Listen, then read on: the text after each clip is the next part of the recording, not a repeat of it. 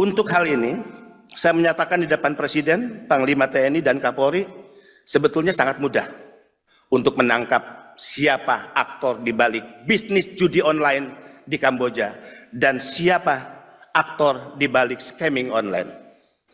Saya cukup menyebut inisialnya T aja paling depan lah.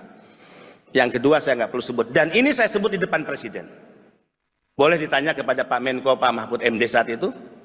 Ya, Presiden kaget, Pak Kapolri kaget, agak cukup heboh rapat terbatas saat itu. Orang ini adalah orang yang selama Republik ini berdiri mungkin tidak bisa disentuh oleh hukum. Mohon maaf dengan segala hormat. Saatnya negara mengambil tindakan tegas, tidak hanya menyeret para calo, kaki tangan, tapi mampu hukum menyentuh para bandar, para tekong, mereka yang kita kategorikan sebagai penjahat, penjual anak bangsa yang selama ini mengambil keuntungan dan pesta pora dari bisnis haram perdagangan manusia.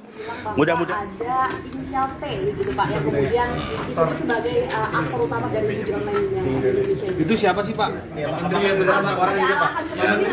Kalau tanya inisial sih, gini loh, kalau tanya inisial inisial, tanya yang buat inisial, jangan tanya kita. Emang tebak-tebak buah manggis. Pak Menteri tapi kan Ya sudah, tanya aja yang membuat pernyataan. Tapi Siapa itu Pak namanya Pak? Saya Nggak tahu Pak. kalau T saya masalah T itu kan banyak. Ada masa Mayor Teddy? Waduh. Tommy Soeharto bukan Pak? Enggak lah, bukan lah. Udah lah, pokoknya kita- Atau Tommy Winata Pak? Apa? Pak Menteri depan Pak.